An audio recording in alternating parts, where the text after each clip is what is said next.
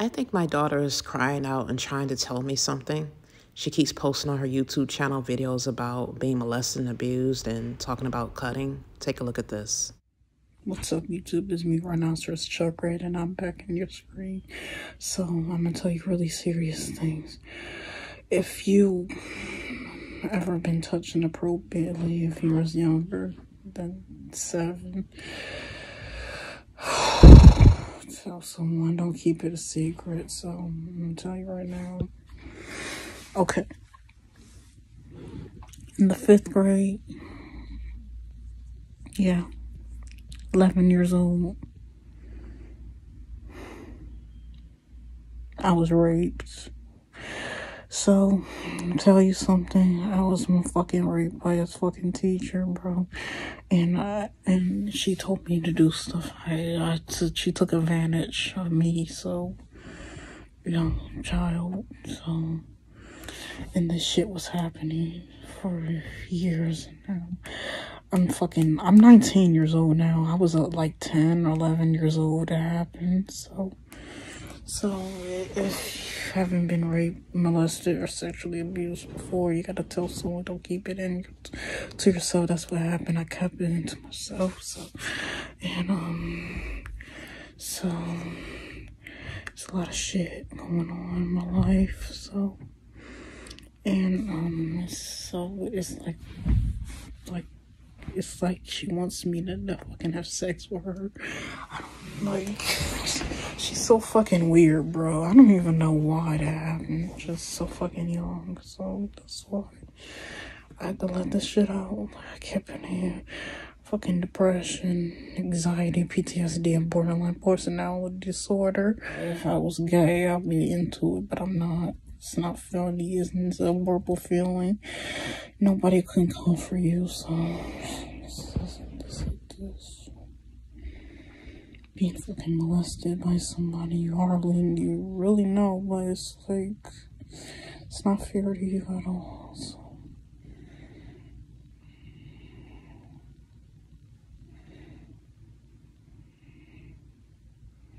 Yes. Yeah, so the shit I'm talking about. Like, and fucking rape and yeah. fucking hold your tears in, like you're, you're naked and strip naked, got fucked up, and your personality changes. Like you wanna fucking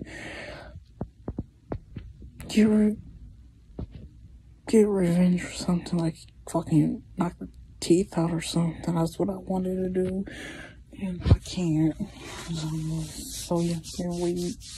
Couldn't do shit. Like, um, she told me not to say another peep out of my mouth if I told someone this, and I. I tried. I have to let this out, so that's why I'm telling you this now. So it's like happened more than once. I want to get the pain away. I'm sad and down, depressed, and all that shit. So, don't let anyone take advantage of you. Okay? My daughter keeps saying this happened by a teacher when she's in the fifth grade, but she talks as if this is something that's going on in the present sense when she's saying the woman strips her butt naked and wants her to have sex with her. And she says she'd be into it if she was gay, but she isn't. And the current emotions of being depressed. And it's like my daughter's speaking in clues because she's afraid of being retaliated against or getting in trouble. And she has every right to be because she's spoken about this before. We both brought this to the attention of other people when we voiced our concerns before in the past. When I voiced my concerns to the Department of Children and Family Services Supervisor Rosalind Bailey, as well as my caseworker Becky Sawyers and Amanda Clark, the Ohio Mentor caseworker for my daughter. They would retaliate against my daughter. Nothing would change. They would take stop her visits abruptly. I would go weeks without seeing her. They would take her phone away from her when I could not see her. And I have not been able to see her. Uh, Tiffany Mahoney, the supervisor now, has stopped the visits. They have not reinstated them. I haven't seen my daughter in person for about eight months. I don't know what's going on with her. I've tried to bring awareness to the situation um, by making videos before exposing what's going on and all they do is retaliate against us and retaliate against my daughter and there is something that needs to be done because if my daughter is truly suffering and getting abused and they're allowing this to happen this is something that god is going to be judging for i asking that you know my daughter shouldn't have to keep going through this this is not the first time she has spoken about abuse. She has spoken about it before, about a year ago, as you can recall this video here. What's up, YouTube? It's Trivia Mac 2015. I'm back, part five. And, um, we're still gonna talk about molestation, rape, sexual abuse.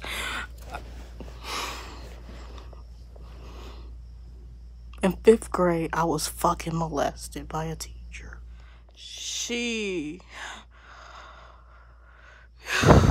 It was like end of the music, end of music, and um, and I I got pulled over, and um, she pulled.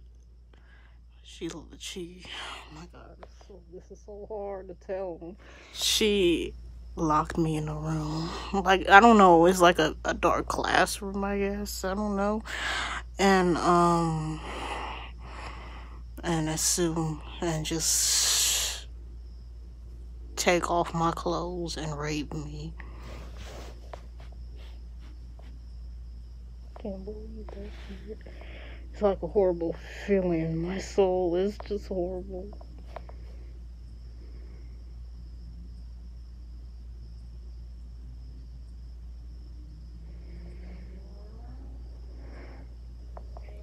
It's not good to be raped.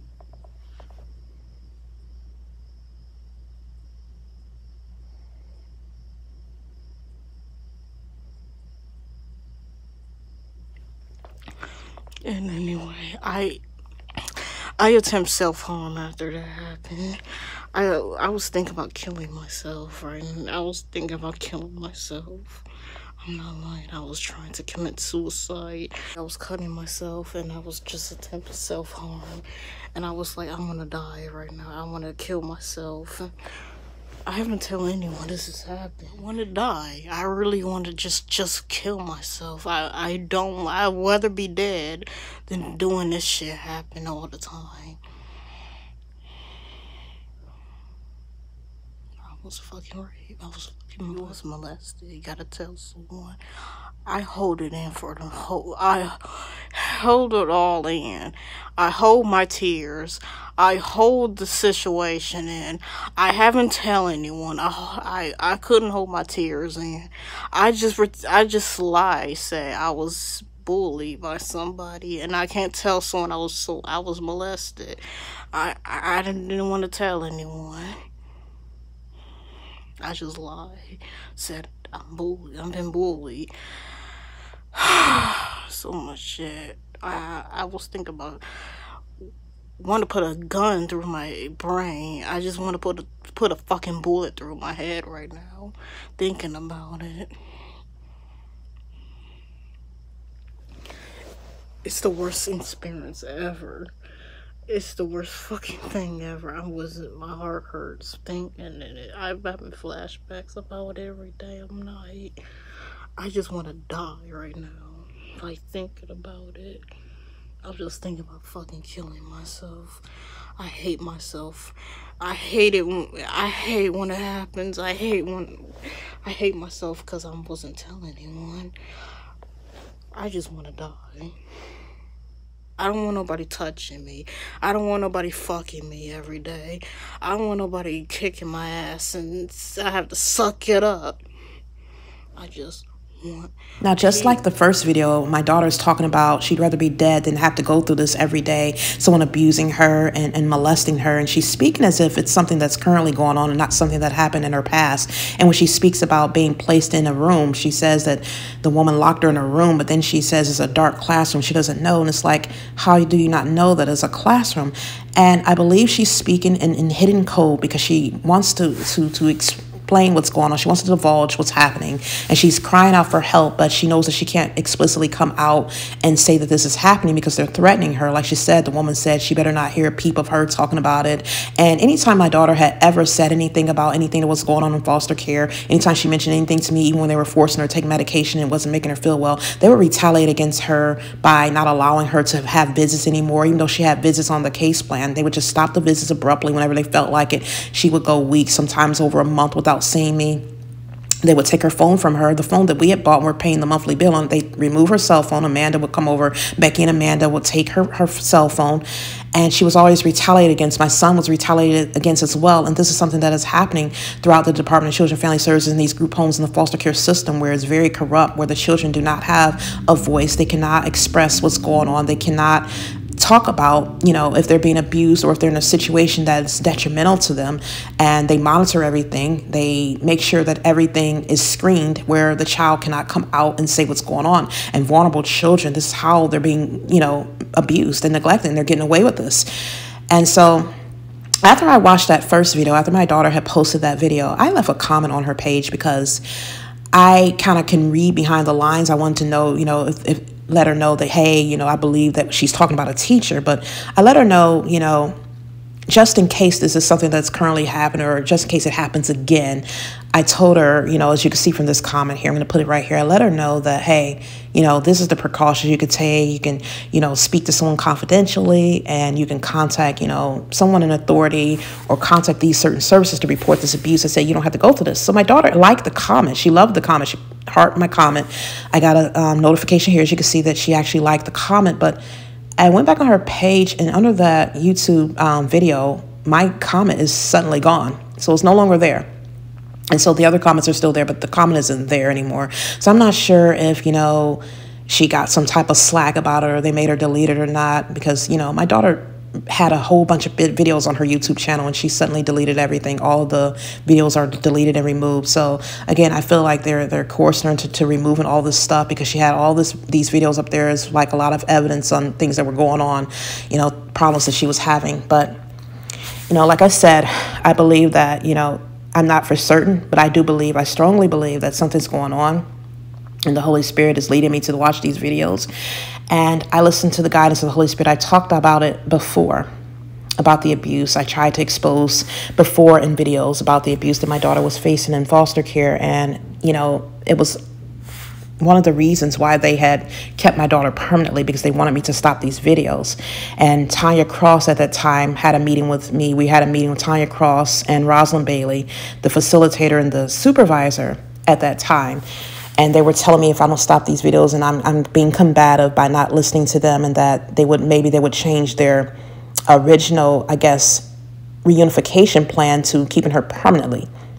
So that's when they came up with that PPL thing, that permanently place living arrangement where they kept my daughter because at first they had under her plan reunification for her to come home and be reunited with me. That's why my daughter never got to, a chance to come home, even though my son came home for six months. But my daughter never came home because they didn't like the fact that I was making these videos. And this is something that I feel is done to evade what's going on.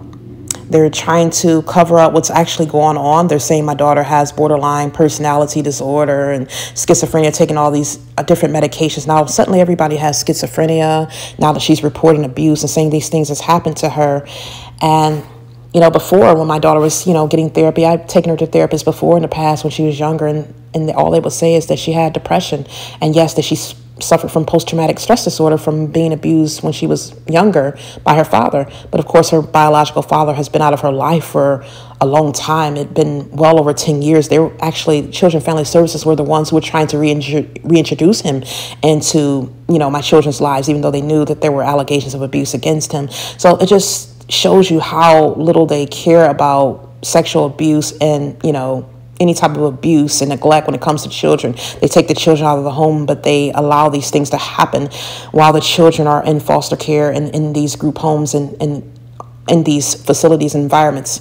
Now, the visits between my daughter were taken. Um, they were stopped abruptly. Like I said, they blamed it on the fact that my daughter was being combative or I guess not getting along well with her foster parent. They said it had something to do, they suspected it had something to do with the visits because every time I guess she came home from my house, they said that the foster parent, my daughter, would get into it. And so they retaliated against my daughter by stopping her visits for about it's been eight months now. And so this is one of the things I was very upset about because it's like you assume that my daughter's upset and getting into an altercation with her foster mother based off the fact she visited with me when you never thought that it's possible, or perhaps that maybe my daughter was acting out towards this woman because there's abuse going on. This is one of the cues and one of the signs that a child is being molested or abused or something is happening. when they start acting out. And there's been a lot of things, like I said, that's been covered up. Now, the visits were stopped, and there was really no other reason. My daughter was enjoying the visits, but whenever she did come to the visits, she would actually divulge things to us. She was showing us here, if you look at these pictures, these were taken back in June of 2022 in the summertime before my daughter's visit stopped in August. As you can see, she was cutting herself. She was showing me all these marks all over her arms. She had all these marks all over her and she was telling me she was cutting herself because she wanted to, you know, come home and she missed being with her family. And now that she's making this video, I believe it was because of the abuse that's been going on. Now that I'm listening to this video, not only that, they have covered up abuse in the past. Like I said, my daughter talked about abuse at the hands of a person who had been abusing me as well. And this was also brushed under the rug and nothing was done about it. So, you know, I'm speaking up right now because, again, my daughter has We've been having our rights violated. We have not been able to get any help. I've spoken out as best I can, and every time we go to court, um, the judge and everyone rules in favor of children and family services. They lie about everything, pretty much telling, saying that my daughter's doing well. Anytime there's an altercation between her and the foster mother or anything that goes on, they never mention it in court. They say everything is doing well, despite the fact that, you know, my daughter has had these episodes, no matter or, or, despite the fact that things have gone on, they never mention that in court. They never talk about the fact that my daughter has gained a significant amount of weight and that she's suffering from diabetes right now. Um, the last time we were in court, they said she was at a healthy weight. So it's like all this stuff is happening, and it's like nothing, no one ever mentions it. And even the court does know they continue to keep ruling in favor of children and family services, so they're part of the problem because they have actually agreed to, you know, gave an order for my daughter to be kept in their custody. So she's suffering here, not allowed to go home, 19 years old and possibly being subjected to abuse on a regular daily basis. And this has been going on since she's been in foster care uh, before she even turned 16 years old. She's been there now for about three years. And this is some of the dangers that are going on. And I'm glad, like I um, recently posted a video where you know Paris Hilton had spoken out about her abuse that she had suffered and the fact that she couldn't tell her parents because everything was monitored. And then she came out with this act recently where they're against child abuse in institutions. And it needs to be something that's investigated and going forth. And you know within the entire foster care system and the judicial system because a lot of children are suffering. And this is something that God does not take you know um, lightly. He's going to be judging all those people who were accountable, you were in positions of authority, you watch these videos, you come across this stuff, you allow these children to be abused. All these nonprofit organizations, I've contacted many of uh, organizations that claim that they will help with civil rights and deal with children with disabilities and children who are being abused, and none of them could help me. None of them stepped forward. Only one tried to help me, and you know, is not much that she actually was able to do or did do. And so this is the thing. This is why a lot of children are suffering because people hold a blind eye to abuse. Now, my daughter comes from a Christian family, a Christian background. Everyone knows our beliefs. They knew our beliefs before they took my children out of the home, and she should not be subjected to any of this stuff. Everything about her has changed. She has, you know, been allowed to lose her virginity and be sexually violated since she has been in the custody of the Cuyahoga County Department of Children and Family Services. She has changed. I've noticed a lot of her behavior has changed, the way she is acting and, and carrying herself, talking about twerking, being exposed to certain things. And, you know, this is something that they do. They, they want to corrupt and defile God's children. They want to destroy God's purpose for his children and corrupt them for Satan's kingdom. And like I said before, if you're not, you know, whether you're being controlled by Satan or not, when you're influencing someone to go against the values of God, this is a spirit of Jezebel that is operating because Jezebel wants to destroy the purpose for God's creation. And when God does come to judge, these people will spend their time in hell. So I'm asking for those of you those of you who are faithful and filled with the Holy Spirit, if you could start sharing this and getting the word out and start praying on behalf of my children, praying on behalf of other children so that this can oh, come County down. Department so of Children and Family Services had actually had a meeting and placed my daughter out of the foster care home around September 2022 due to the fact that my daughter and the foster parent weren't getting along and the foster parent said she was overwhelmed. They placed her in an adult group home where I guess it did not work out for her because one night she was left just completely stranded with nowhere to go and no way to get home. The police had to escort her home because she was out by herself in the middle of the night. And also, they said her grades were failing. So they ended up placing her back in the foster care home. My thing is this they could have actually sent her back home. They could have filed a motion with the court to have her sent back home with me. There was no reason to ever have her removed from the house in the first place. Now they have her set to go to Walsh University in Canton, Ohio. They got her into college. She was accepted there, but they picked the college. They didn't look at any other colleges. And my thing is this. They didn't even try to find a college in Cleveland close by to her family's home. And it's like they're just trying to keep her in Canton. And, and I feel away from her family and separated. They make it seem as if, you know, she's living here with us. She wouldn't be able to finish school and she has to be there in order to finish school. My thing is this had the kingdom of darkness had not been attacking my children while they were in school, they would have been allowed to get their education. They would have graduated and had their degrees if they had not been bothering my children, attacking them and keeping them from having successful education and time in school. And had they not been attacking me while I was on the jobs, I could have been working and obtaining money to afford to take care of my children. The kingdom of darkness stopped everything. And I'm just asking for all of you to start praying and helping me and just to bring down the stuff that's going on within the children and family services and the juvenile judicial system for everyone. Thank you.